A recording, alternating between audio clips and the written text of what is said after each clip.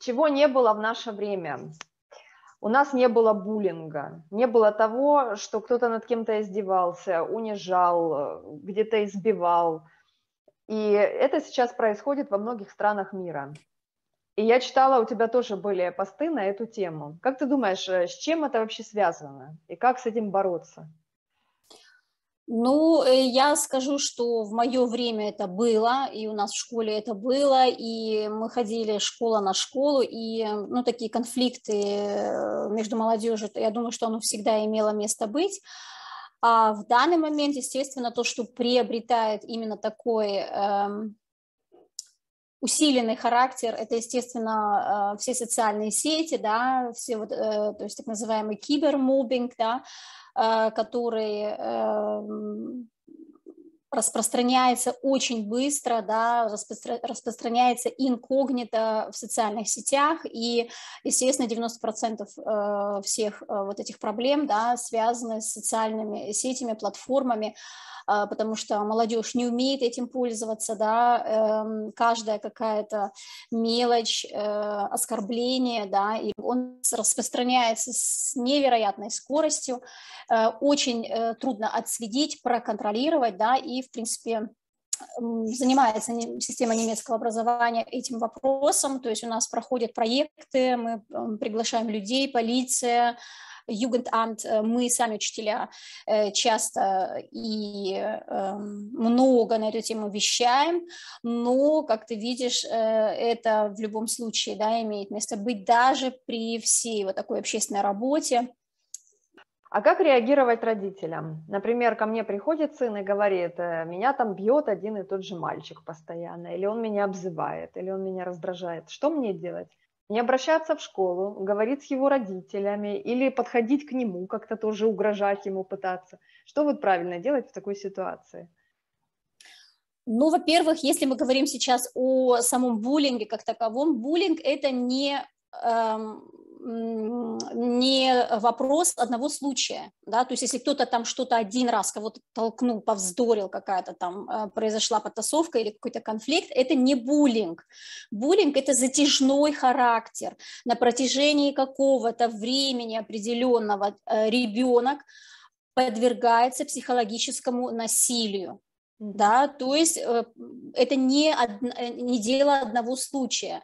И поэтому, если ребенок, эм, ну, э, ты сейчас сказала много таких факторов, тут там его обозвал, да, или Нет, там нет, побил. вот допустим, если это один и тот же делает на протяжении длительного периода времени. Это буллинг, естественно, это буллинг, и на это нужно обращать внимание и сразу, сразу действовать, не ждать, что там когда-то что-то где-то утихнет или там уляжется, или само собой все э, э, да, как-то сложится, этого не, естественно, не произойдет, то есть это все только усугубит, и, как правило, нужно во-первых, чтобы ребенок вам э, э, доверял родителям, чтобы он все рассказывал. Если кто-то что-то заметил, какой-то, ну, может быть, ребенок стал себя очень странно вести, может быть, он был по натуре тихий, но стал очень раздражителен, или наоборот, ребенок был активный, да, и вдруг закрылся в себе, то есть поменялась какая-то форма поведения. Если у него ухудшились оценки, нежелание идти в школу, школу, какая-то психосоматика, то голова болит, то живот болит, что-то вообще непонятное такое, да, я болею, себя плохо чувствую, не хочу идти в школу. То есть это уже э, говорит о том, что уже что-то, когда нужно бить тревогу. Да, я бы, ну, как бы э, тесно общалась бы с ребенком, и такие маленькие конфликты сразу бы шла бы по следам и, ну, просто выясняла это, да, это делается все элементарно, пишется имейл учителю, классному руководителю, только классный руководитель имеет полномочия заниматься такими конфликтами. Никакие югентамты, никакие адвокаты, ничего там, никакие директора, и тем более никакой шульамт этим не занимается, как сразу кто-то говорит, идите сразу туда-сюда. Прежде всего, даже если вы пойдете в шульамт, я не знаю куда, вас первое, что вас спросят, а вы классному руководителю говорили? Первое, что вас спросят. И если скажешь нет, пошли там по головам и вот туда, то ну, вас отправят, потому что классный руководитель непосредственно он и только он занимается такого, таким родом э, деятельности. Это его полномочия. Пишется mail в таком э, форме такого э, протокола, что произошло, когда произошло, кто был причастен, и просьба разобраться с ситуацией. То есть если... это еще даже фиксация идет жалобы. Конечно, будущее, если конечно. вдруг что-то произойдет, лучше это фиксировать сразу. Обязательно. Не то, что там фиксировать, а вы сразу пишете mail. Вот ребенок пришел, говорит, меня там ученик XY толкает. Угу. Вы говорите, что всегда толкает или только сегодня там толкает, да? Ну, тут нужно смотреть, да, здесь такие вопросы, то есть, да, если там это просто толкает, то, ну, как бы, да, вот мне, например, у меня была недавно такая проблема с сыном, он мне сказал, да, там, что кто-то что-то там говорит, на него там э, такие слова. Но говорят, знаешь, как не то, что его обзывают, а у подростков есть такая вот, э, ну, чтобы показаться таким более современным, таким вот, э, ну, вот таким, да, крутым, они употребляют такие, ну, скажем, их нецензурные слова по отношению друг к другу. Uh-huh, uh-huh. Ну и как бы никто этим, как бы никто особо внимания не, не, подает, не, не подает, потому что, ну, типа, это вот куль.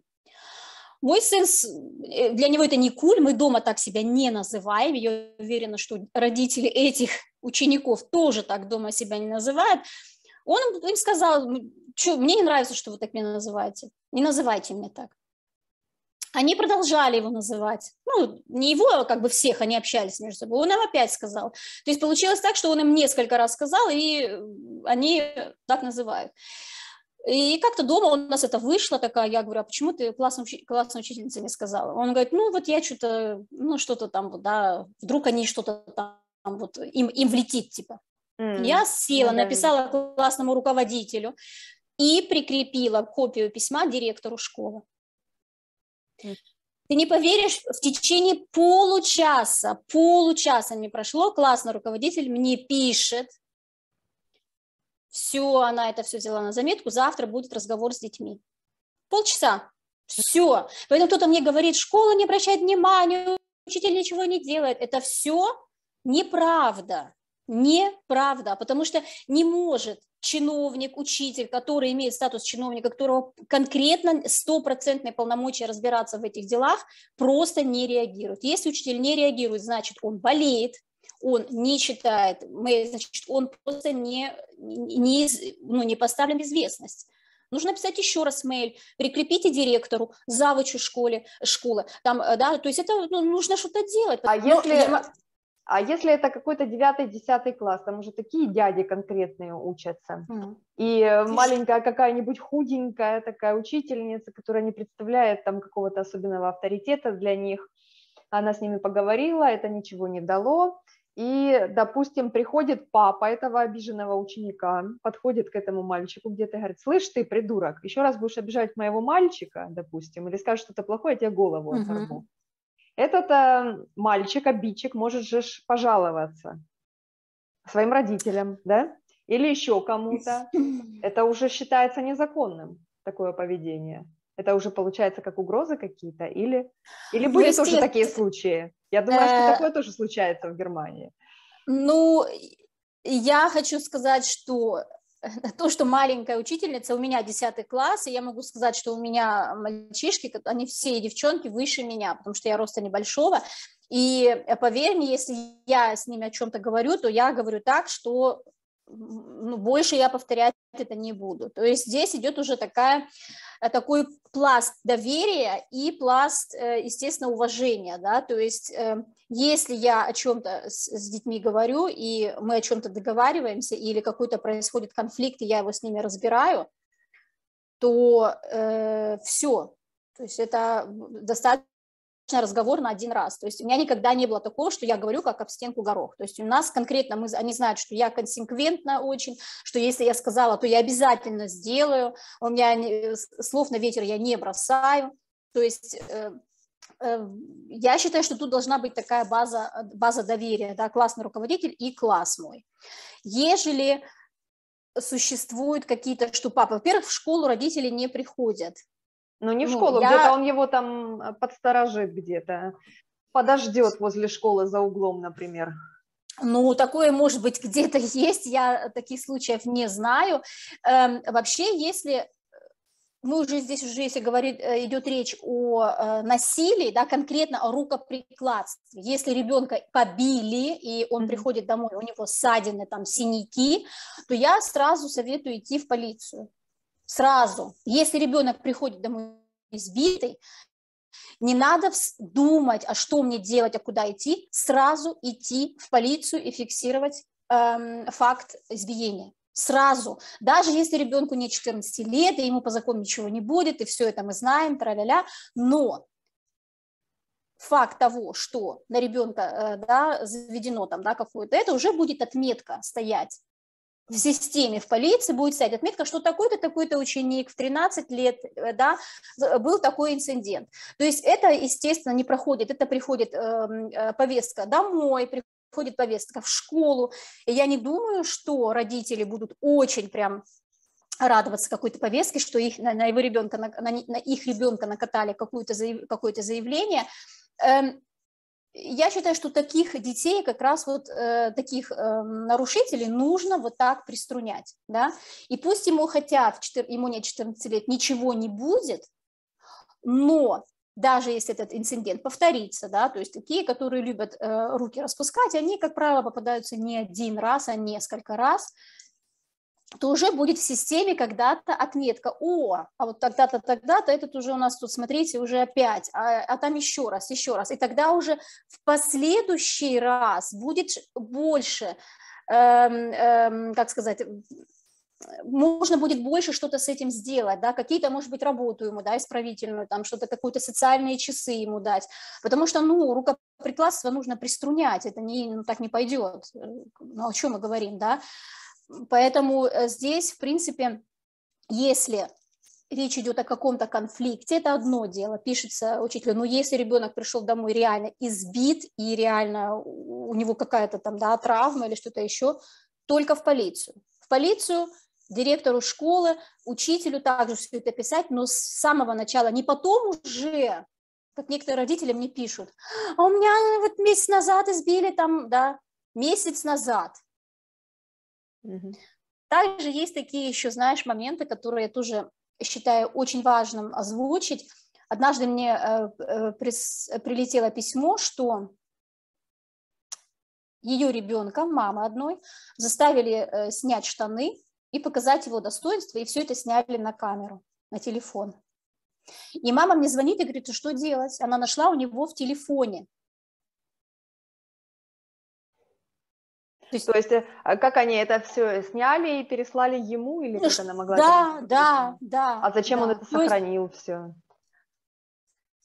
боится ребенок, то есть какие-то угрозы, какая-то группа, группа каких-то, причем мы сейчас говорим не о там, каких-то подростках, а мы сейчас говорим вот о 11-12 лет, там, да, 10-11-12 лет, это э, начало средней школы.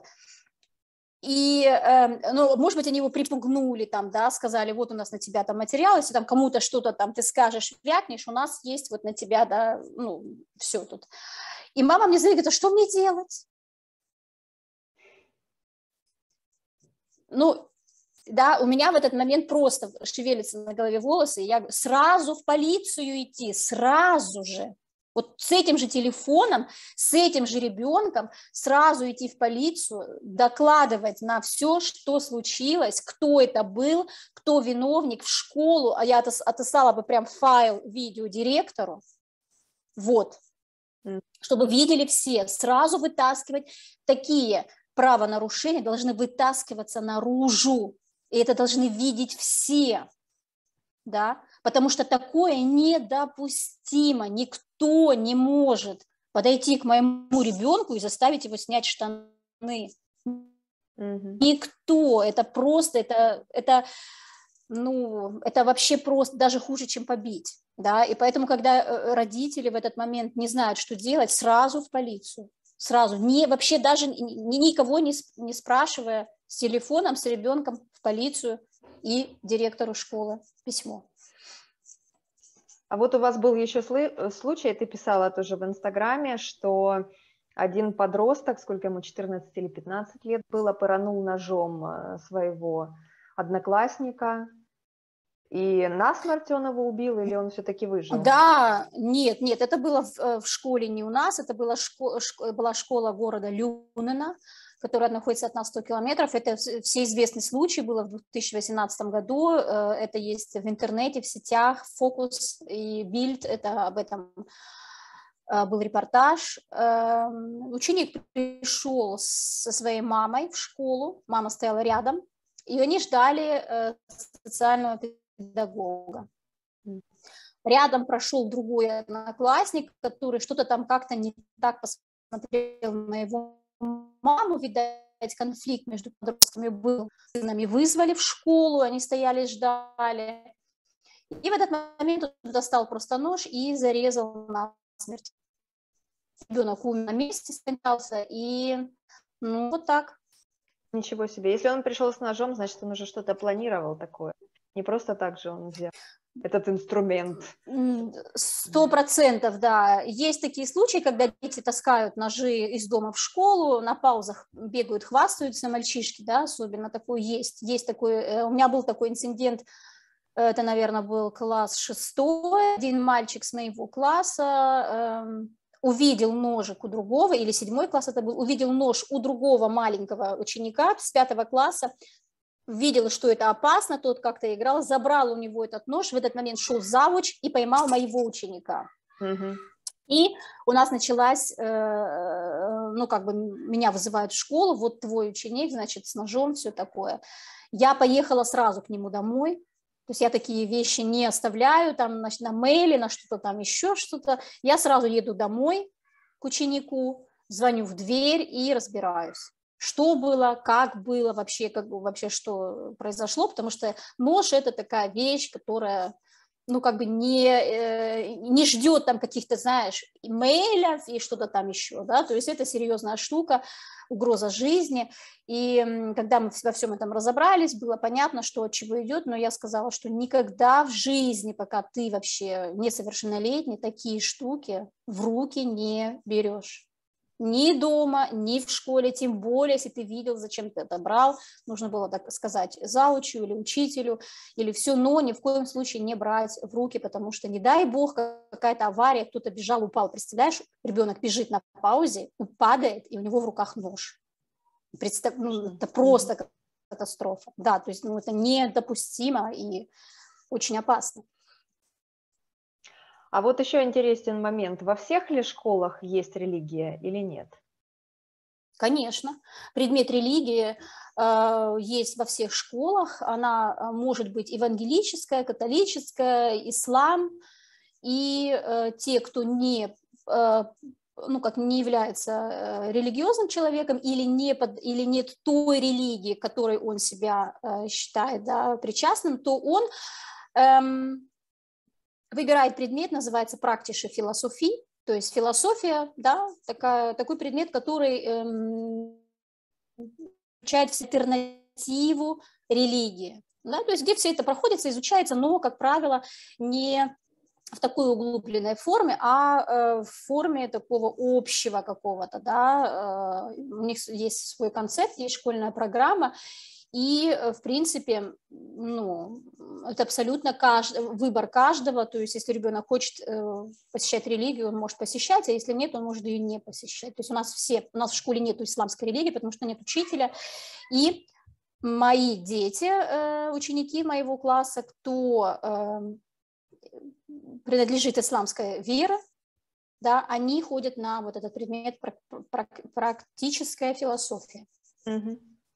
Но у меня сын, допустим, сейчас учится в частной школе, и у них этика, у них религии тоже. Да, ну, этика... В первом классе еще только. Да, этика это вот как раз вот э, что-то такое, вот такая же альтернатива, как практика философия, да, где просто они разговаривают там о каких-то вещах, поэтому. А есть ли еще какие-то предметы, которых нет в постсоветских странах?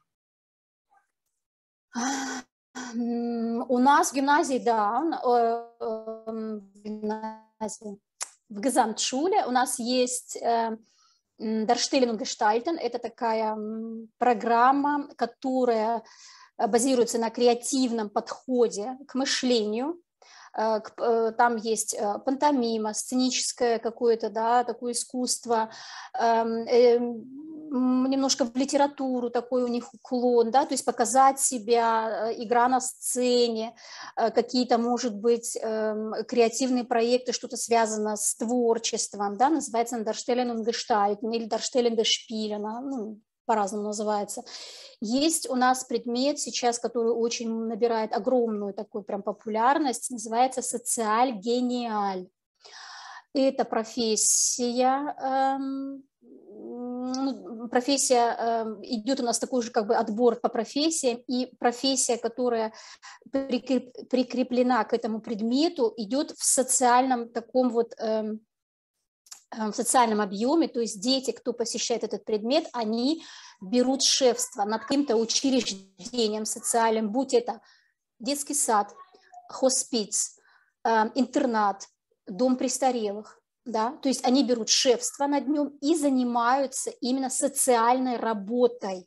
То есть они конкретно организовывают проекты, э, заботятся о людях, которые находятся в этом, в этом социальном учреждении, тем самым эм, э, как бы, да, показывают себя вот именно в этих профессиях. Такие, э, ну, как бы это нужно любить, да, то есть туда этот предмет, он принадлежит группе Вальпфлихт, именно тот предмет, дети его это не для всех, то есть это не обязательный предмет, но его можно вейлен, да, то есть выбирать. И они э, обязаны этот предмет с 7 по 10 класс пройти, и эм, э, потом существует также и контрольные, и сдача экзаменов, да, и какой-то проект в конце, да, то есть это предмет первой группы, который влияет на абитур, на оценку абитура, то есть это главный такой как предмет, который они выбирают, но он принадлежит именно группе, первой группе предметов э, вместе э, с главными предметами, да, немецкий, английский, математика. То есть это не обязательный предмет, они его сами выбирают, да? Это предмет обязательный, но по а, выбору, да? То есть э, после э, седьмого класса да, идет э, такой спектр предметов на выбор, э, потому что Гезамтшуле все-таки больше эм, дает возможности выбрать профессию, попробовать себя в разных таких э, отраслях. Да? У нас есть предмет также Körper und Gesundheit, мое тело и здоровье, как нужно питаться, спортивное, да, как, как нужно, например, здоровье, да, тела, что, э, то есть обычно туда идут ребята, он такой более, ну, немножко напоминает, может быть, физкультуру, плюс к нему добавляется немного биологии о том, как состоит наше тело, как работают белки, углеводы, да, то есть вот в таком вот русле. Э, это тоже предмет э, группы, и дети его выбирают. Есть социаль гениаль, потом театральная вот эта, да, эм, э, фишка с, э, с, э, с театром, Кёрпа Унгезунга, и также есть садоводство, то есть дети ходят в сад в школьный и занимаются mm-hmm. там, да, занимаются, они изучают, какие деревья, там что-то растения, как там все это, да, что там делать, как сушится, например, там трава, да, или там сбор яблок, как их там посушить, сделать чипсы, почему это, ну, то есть вот такая вот, да, тоже интересная такая альтернатива, Э, простым занятиям. В гимназии, кстати, такого нет. Да? В гимназии ты там идешь физика, география и вот это, вот, вот это все. А у нас, я считаю, что это большой плюс, потому что, ну, не всем быть академиками, да, кто-то, может быть, действительно найдет себя в садоводстве и пойдет потом флористику, да, в ботанику, может быть, какой-то, да, ландшафт, э, гештальт, да, э, делать э, аусбильдинг, почему бы и нет, вот. Э, ну, естественно, языки, у нас также три иностранных языка, в школе, да, э, английский, французский, испанский, и, в принципе, так же, как и в гимназии. А с какого вот. класса начинают иностранные языки учить в Германии? Или это эм, по-разному во всех школах? Во всех школах по-разному, но в основном я знаю, что он легкое такое введение иностранного языка может быть и в начальной школе, да, там первый, второй, третий класс зависит от проекта, да, школы, как это начальная школа внедряет, но официально этот предмет, естественно, английский язык вводится уже в пятом классе, то есть это уже просто вот сто процентов. То есть, то есть если начальная школа без иностранного языка? Есть начальная школа без иностранного. У меня у среднего сына в начальной школе, по-моему, со второго класса, э, нет, после второго класса был введен такой легкий, э, ну, такой, знаешь, э, в форме, в игровой форме, да, такой у них был учебник, и с ними занимались английским. Я думаю, что много там он не выучил, но хотя бы такое вот легкое ведение уже как второй иностранный язык было. А официально, естественно, как э, главный предмет английский выступает уже в средней школе. А заметила ли ты за годы своего преподавания какие-нибудь изменения в школьной системе? И если да, то к лучшему или к худшему? Потому что я э, слышу, что многие немцы сейчас жалуются, говорят, что образование в школах было намного лучше раньше. Ну, я думаю, что это связано напрямую с инклюзией, да, с инклюзивной вот этой вот реформой, которая была введена, э, внедрена так, наверное, 15 лет назад, когда сказали э, министр образования Германии, что все дети с особенностями могут посещать нормальную обычную школу. Да? То есть эм, зондершуле, так называемой школы, где учились только ученики с особенностями, их эм, стали закрывать, они а стали почему? терять свой... Ну, потому что эм, решили эм, обучать всех детей и с особенностями, и детей, кто э, просто обычно да, может подходить к учебному процессу в одном классе.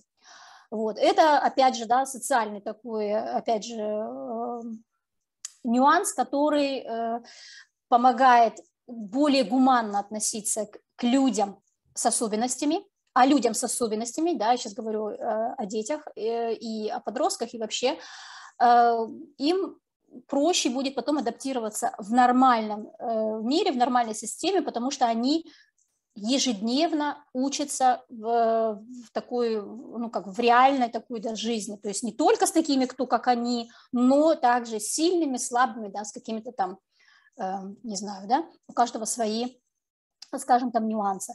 И проблема вся в том, что учителей для работы с этими детьми с особенностями никто не обучал.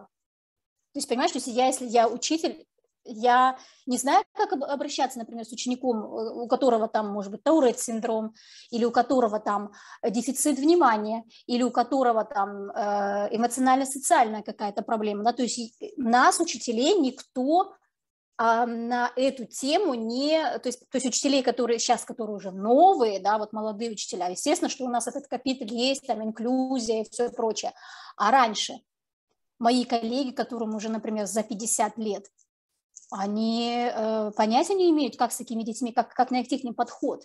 Такие дети часто становятся э, кем? Такими диверсантами маленькими, которые портят дисциплину, портят средний балл оценок, да, потому что с ними нужно много заниматься. Эти такие дети требуют больше внимания, больше усилий, определенного материала. То есть если у меня в классе, например, 4 уровня детей, да, инклюзивные дети, слабенькие, средненькие, сильные, я должна подготовить, подготовить тему на 4 уровня, одну тему на 4 уровня. И это получается для меня, естественно, много работы. Или я пришла в гимназию, понимаешь, у меня все одного уровня, я, я там, ну, как бы дома не делаю себе, э, ну, не мыслю, как же тут мне преподнести материал, потому что у меня все одного уровня. А в нашей школе их много, таких детей. И чтобы эффективно эти дети получали материал и информацию, эффективно учились и участвовали в, э, в учебном процессе, это все ложится на плечи учителя. И материала нет, материала мало. Сейчас он уже, да, стал появляться, может быть, что-то там, но и то, эм, его нужно адаптировать под каждого ученика, да, есть же ну, там, дети с абсолютно разными да, особенностями, поэтому это не так просто. И, и это самое большое изменение в школьной программе за, за последние 15 лет. Именно вот то, что инклюзия пришла просто во всем своем да, вот, понимании в обычную школу. Мало специалистов, зондерпедагогов, таких, которые занимаются такими детьми, просто наклад, вот их просто нет. То есть если, если Э, в таком классе у нас есть два инклюзионных класса в каждом, эм, в каждом году, в каждом классе, в каждом, например, из пяти классов, в четырех у нас два инклюзивных классов. Этот класс обязан иметь специального педагога, потому что ну, без специального педагога, то есть их три учителя в классе. С такими, такими ребятам нужен специальный педагог. Обычный учитель им мало что может дать. А что ж, да. как же другой класс? То есть вот это вот такая вот... Я, конечно, преклоняюсь перед учителями, потому что это нужно иметь столько терпения, чтобы из года в год стоять и рассказывать одно и то же. Еще нужно быть немного психологом или много психологом, да, чтобы найти общий язык с ребятами. И, и вообще нужно быть э, артистичным, э, уметь правильно разговаривать, жестикулировать для того, чтобы тебя люди слушали. Потому что если ты что-то мямлишь себе под нос, да, люди просто отключатся, Конечно. им будет неинтересно, и можно выгореть вообще таким образом. Поэтому да. я, конечно, да, преклоняюсь и восхищаюсь перед учителями, которые не выгорают, которые всю жизнь преподают и делают это успешно. Да, нужно любить детей, понимаешь, когда ты любишь это дело, потому что учитель все-таки это не профессия, это должно быть призвание, понимаешь, это как вот, ну, ты, ты, ты должен любить это, это дело, потому что если ты не любишь возиться с детьми, обсуждать, значит, вот это вот все, да, то очень сложно влиться вообще в систему и, как ты говоришь, выгореть, да, очень много коллег у нас, кто, у кого burn-out, кто не выдерживает, ну, многие выгорают, потому что, потому что профессия учителя – это, понимаешь, дать и брать. Вот я вижу отдачу детей, и это же мой ресурс, я им же наполняюсь. Вот. Но когда ты только даешь, даешь, даешь, даешь, да, и тебе это в те, в, ну, как в тягость, то, естественно, ресурсов, э, ресурсы когда-то кончаются, да, и человек просто нервно истощен, да. То есть нужно еще уметь правильно балансировать э, при этом энергообмене. Да, э, нужно убрать эм, синдром перфекционизма, да, что ты все прям у тебя все идеально, то есть это нужно вообще забыть в этой профессии. И эм, это очень социальная профессия, где нужно быть и мамой, и врачом, и, как ты сказала, и психологом, да, и всем, вот, всем, чем хочешь, да, мастер на все руки. Ну, учитывая то, сколько раз у нас прерывался интернет, и у тебя хватило терпения все это выдержать, переподключиться, мы видим, конечно, какие у тебя уже качества терпения, это в первую очередь присутствует, и что тебя любят дети, это тоже немаловажно. Я желаю тебе успехов в твоем деле. Э, я так поняла, что твоим детям, твоим э, ученикам повезло с учителем, что они тебя уважают и любят, я надеюсь, да, что они э, будут меня вспоминать и что я им много дала для жизни именно. Не то, что я их там чему-то научила, каким-то предметом, а именно как люди, они будут состоявшиеся люди с большой буквы. Это самое главное, да. Хорошо, спасибо тебе за интервью, за то, что уделила так много времени. Тебе спасибо. Нам, да. А вы, пожалуйста, пишите в комментариях, может быть, вас еще что-то интересует и мы тогда с удовольствием ответим на ваши вопросы. Всем пока. Спасибо. Пока.